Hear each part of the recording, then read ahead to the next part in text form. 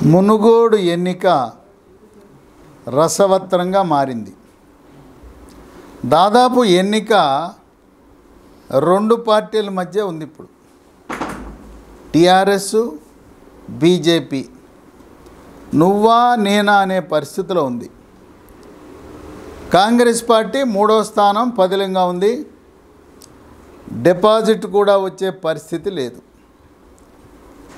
ఈ రెండు పార్టీల్లో టీఆర్ఎస్ బీజేపీలో ఎవరైతే అధిక సంఖ్యలో కాంగ్రెస్ పార్టీ ఓట్లు సాధించగలరో ఆ పార్టీ ఉప ఎన్నికలో గెలుపు సాధిస్తుంది.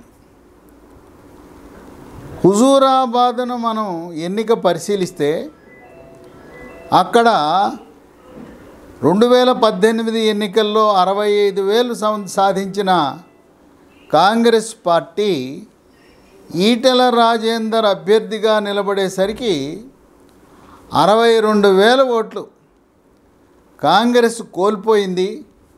కేవలం మూడు వేలు మాత్రమే వచ్చినాయి. అదేవిధంగా రెండు వేల పద్దెనిమిదిలో కోమటిరెడ్డి రాజగోపాలరెడ్డి అభ్యర్థిగా ఉన్నప్పుడు వచ్చిన కాంగ్రెస్ ఓట్లన్నీ ఇప్పుడు బీజేపీకి వెళ్ళి కాంగ్రెస్ పార్టీ డిపాజిట్ కోల్పోవటం ద్వారా అది ఎవరికి కలిసి వచ్చే అంశం అంటే భారతీయ జనతా పార్టీకి కలిసి వచ్చే అంశం. దానికి తోడు రాహుల్ గాంధీ పాదయాత్ర కూడా కాంగ్రెస్ పార్టీ మునుగోడుపై ఆశలు వదులుకున్నదేని సంకేతాలు ఇస్తూ ఉంది.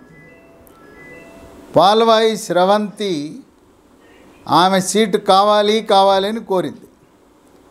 సీట్ ఇచ్చారు. కానీ ఈ రోజున ఆర్థిక వనరులు ఇవ్వటంలో వెనకంజ వేస్తుంది కాంగ్రెస్ పార్టీ. పాదయాత్రకి చాలా ఖర్చుతో కూడుకున్న యాత్ర. కనుక మా వనరులన్నీ దానికే సరిపోతున్నాయని చెప్పి కాంగ్రెస్ పార్టీ ఆర్థిక వనరుల లేమి వల్ల లోటు వల్ల ముందుకు అడుగు వేయలేకపోతా ఉంది. దానికి తోడు కోమటిరెడ్డి వెంకటరెడ్డి ఆయనే ప్రకటించాడు. ఇది ఎవరు వెళ్ళి ప్రచారం చేసినా కూడా మునుగోడులో కాంగ్రెస్ పార్టీ విజయము సాధించదు. కాంగ్రెస్ పార్టీ మూడవ స్థానంలో ఉంటుందని ఆయనే ప్రకటించాడు. కోమటిరెడ్డి వెంకటరెడ్డి భువనగిరి పార్లమెంటు పరిధిలో ఉన్న మునుగోడు అసెంబ్లీ నియోజకవర్గానికి ప్రచారము చేయకపోవటం వల్ల ఆ వచ్చే కాంగ్రెస్ ఓట్లు కూడా రావు. పైగా కోమటిరెడ్డి వెంకటరెడ్డి తన అనుచరులు కాంగ్రెస్ నాయకులు హితులు సన్నిహితులు బంధువులందరినీ మునుగోడులో ఈ ఒక్కసారి కోమటిరెడ్డి రాజగోపాల్ రెడ్డి నా సోదరుని గౌరవించండి ఆదరించండి అభిమానించండి. ఒక్క అవకాశం ఇవ్వండి. మీ రుణం తీర్చుకుంటాం. ఇప్పటికే ఎన్నో సేవా కార్యక్రమాలు విద్య వైద్య మీరు ఇళ్ళు కట్టుకుంటున్నప్పుడు ఆర్థిక సహాయం అనేక రకాలుగా మీకు ఉపయోగపడ్డాం. కనుక మేము చేసిన సేవకు గుర్తింపుగా ఈ ఒక్కసారి కోమటిరెడ్డి రాజగోపాలరెడ్డిని గెలిపించి మా కుటుంబ గౌరవాన్ని కాపాడిందని కోమటిరెడ్డి వెంకటరెడ్డి ఫోన్ల ద్వారా కొంతమందిని తన వద్దకు పిలిపించుకుని మాట్లాడటం. ఈ విధంగా కోమటిరెడ్డి వెంకటరెడ్డి రాజగోపాలరెడ్డి గెలుపుకి పరోక్షంగా ప్రత్యక్షంగానూ సహకరిస్తున్నాడు. ఇదిలా ఉంటే ఇప్పుడు కాంట్రాక్ట్లన్నీ కూడా ఎవరు నిర్వహిస్తున్నారంటే ఎవరు చూసుకుంటున్నారంటే కోమటిరెడ్డి సోదరులు వెంకటరెడ్డి రాజగోపాల్ రెడ్డి ఇద్దరు రాజకీయంలో పూర్తిగా తలమునకలై ఉంటే కోమటిరెడ్డి రాజగోపాల్ రెడ్డి కుమారుడు కోమటిరెడ్డి శ్రీకాంత్ రెడ్డి ఆయన వ్యాపార లావాదేవీలు చూసుకుంటున్నాడు. కాంట్రాక్ట్లన్నీ కూడా ఆయనే నిర్వహిస్తున్నాడు. ఆయన కూడా రంగంలో దిగాడు మునుగోడు. ఎవ్వరూ ఊహించని విధముగా కోమటిరెడ్డి శ్రీకాంత్ రెడ్డికి ఎనలేని ప్రజాదరణ లభించింది. అతను ఊహించని విధంగా ప్రజలు పట్టం కడుతున్నారు. ఎక్కడికి వెళ్ళినా కూడా కోమటిరెడ్డి సోదరులు ఎట్టి పరిస్థితుల్లో గెలవాలని కోరుకుంటున్నారు. ఉమ్మడి నల్గొండ జిల్లాలో రెడ్డి సామాజిక వర్గం అందరూ కూడా పట్టుదలతో కోమటిరెడ్డి రాజగోపాలరెడ్డిని గెలిపించాలనే సంకల్పంతో వాళ్ళ పరిచయాలు బంధుత్వం అంతా వినియోగించి మునుగోడు నియోజకవర్గంతో సంబంధం లేని రెడ్డి సామాజిక వర్గానికి చెందినవారు నల్గొండ జిల్లానే కాక రంగారెడ్డి హైదరాబాదు ఈ జిల్లాలలో ఉండే రెడ్డి సామాజిక వర్గం వాళ్ళు వాళ్ళ వంతు కృషి వాళ్ళు చేస్తున్నారు. మునుగోడు ఉప ఎన్నిక కీలకం. ఓట్లు ఎక్కడ మనం జాగ్రత్తగా పరిశీలించాలంటే చౌటుప్పల్ మండలం. ఎవరికైతే చౌటుప్పల్ మండలంలో ఆధిక్యత ఉంటుందో వాళ్ళే గెలుస్తారు. చౌటుప్పలు అక్కడ పట్టణ వాతావరణం ఉంటుంది. పట్టణ వాతావరణంలో తెలంగాణ రాష్ట్రమంతటా కూడా భారతీయ జనతా పార్టీకి అనుకూల పవనాలు వీస్తున్నాయి. అందుచేత ఇప్పుడున్న ప్రస్తుత పరిస్థితులలో భారతీయ జనతా పార్టీ కోమటిరెడ్డి రాజగోపాలరెడ్డి గెలుపు అవకాశాలు మెండుగా ఉన్నాయి. ముప్పై వేల మెజార్టీతో కోమటిరెడ్డి రాజగోపాలరెడ్డి విజయం సాధిస్తాడని కొన్ని అంచనాలు సర్వేలు తెలియజేస్తున్నాయి.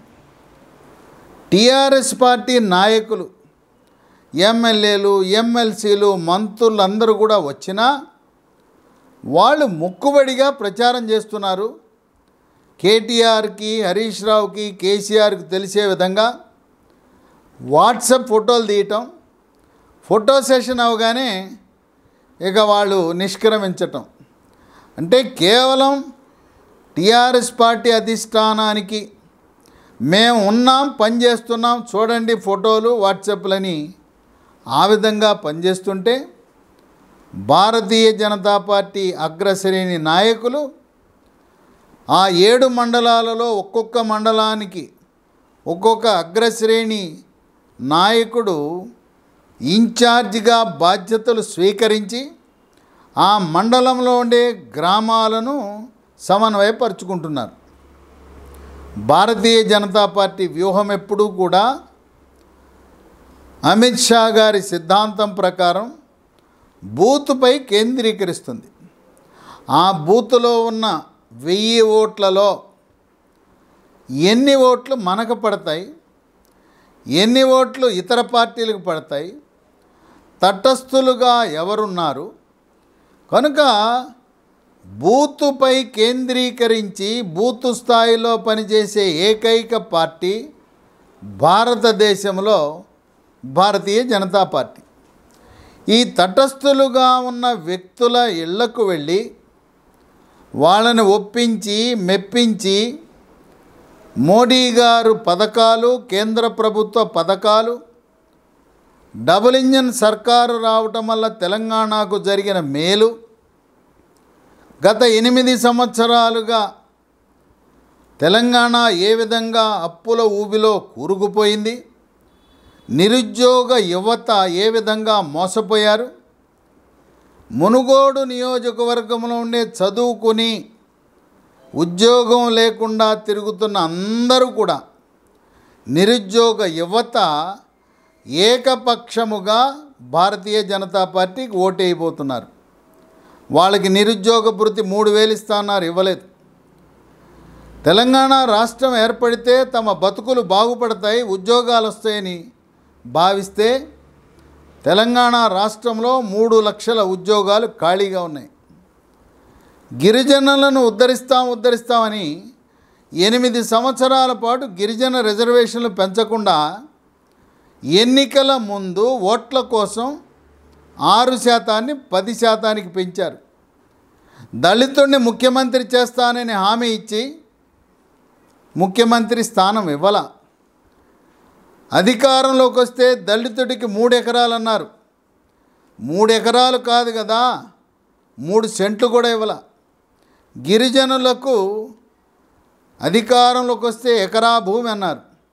ఎక్కడా ఇచ్చిన దాఖలా లేవు. ఇంటికో ఉద్యోగం అన్నారు. ఇంటికి ఒక ఉద్యోగం కాదు కదా మండలానికి కూడా ఒక ఉద్యోగం లేని పరిస్థితి ఉంది గ్రామానికి ఒక ఉద్యోగం కూడా రాని పరిస్థితి ఉంది.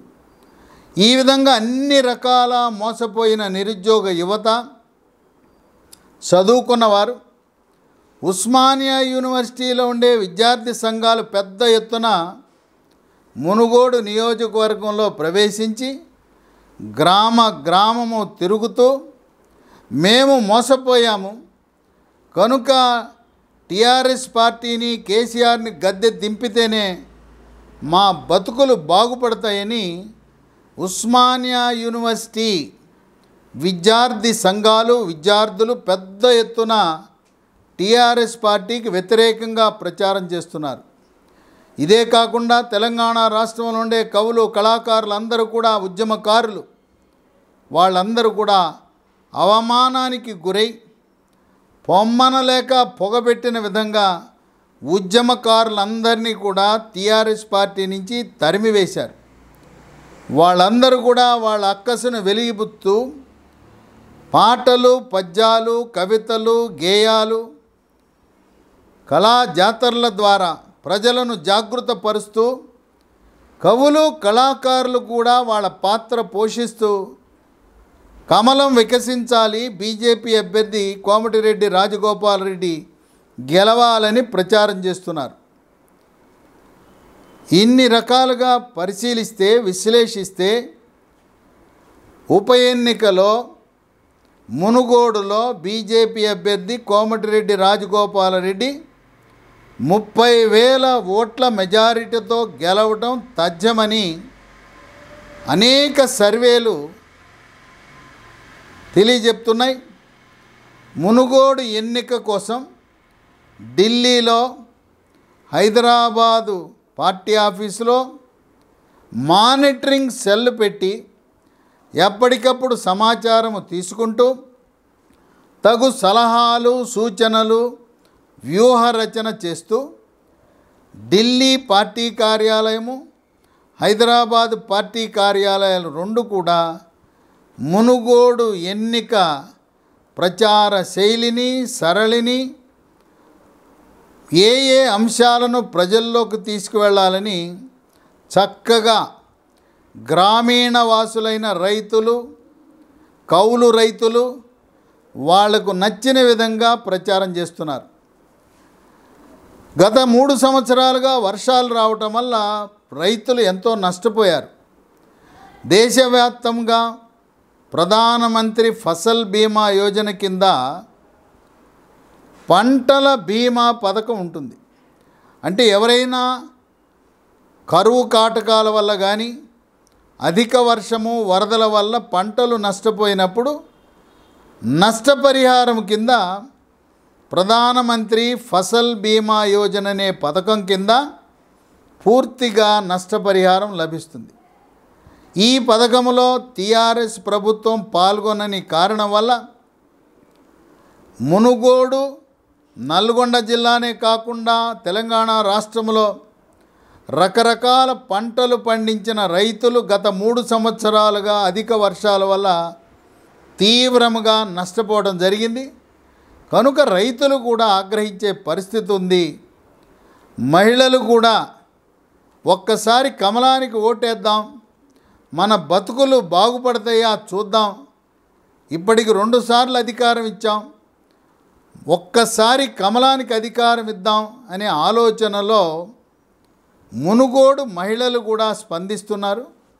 ఏది ఏమైనా టీఆర్ఎస్ పార్టీకి దుబ్బాకలో హుజూరాబాద్లో ఏ విధంగా పరాభవం జరిగిందో అదే విధంగా మునుగోడు ఉప ఎన్నికలో పరాభవం జరగడం తథ్యమని విశ్లేషకులు భావిస్తున్నారు.